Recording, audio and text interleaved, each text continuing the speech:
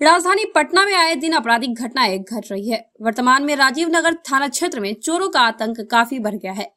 बीते रात भी दुकान के ताला को काटा गया। साथ ही बाहर रखे सामानों को भी चोर उठा कर ले गए, जिससे दुकानदार आक्रोशित होकर राजीव नगर नहर रोड पर आगजनी कर प्रदर्शन कर रहे हैं और आरोप लगा रहे हैं कि थाना शिकायत दर्ज भी नहीं करती है तो कार्रवाई क्या करेगा?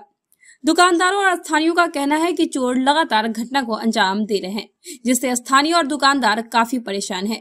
हालाँकि मौके पर राजीव नगर थाना पहुंचकर लोगों को आश्वासन दे रहे हैं। जल्द ही चोरों पर कार्रवाई की जाएगी। साथ ही पुलिस ने कहा कि आप लोग एफआईआर दर्ज कीजिए। कार्रवाई जल्द किया जाएगा।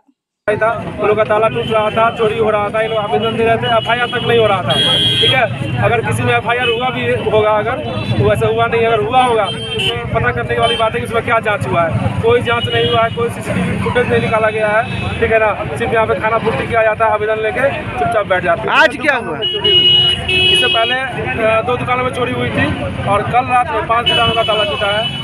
जिसमें कि एक हफ़्ता पहले भी उन लोगों का ताला टूटा फिर कल उसका ताला तोड़ा गया। आज क्या हुआ? आज वही ताला तोड़ा गया था दुकान का। अरे तो उसी- के लिए फिर हम लोग सड़क यहाँ पे जाम पुलिस ने क्या आश्वासन दिया? थाना जा रहे हैं। थाना पे हम लोग का नहीं सुना जा रहा। है इसलिए प्रशासन को हम लोग यहाँ पे मोहल्ला में बुलाए हैं। प्रशासन अभी सबके सामने कार्रवाई होना चाहिए? बड़ा बाबू तो कल ही यहाँ पे आए राजीव नगर के।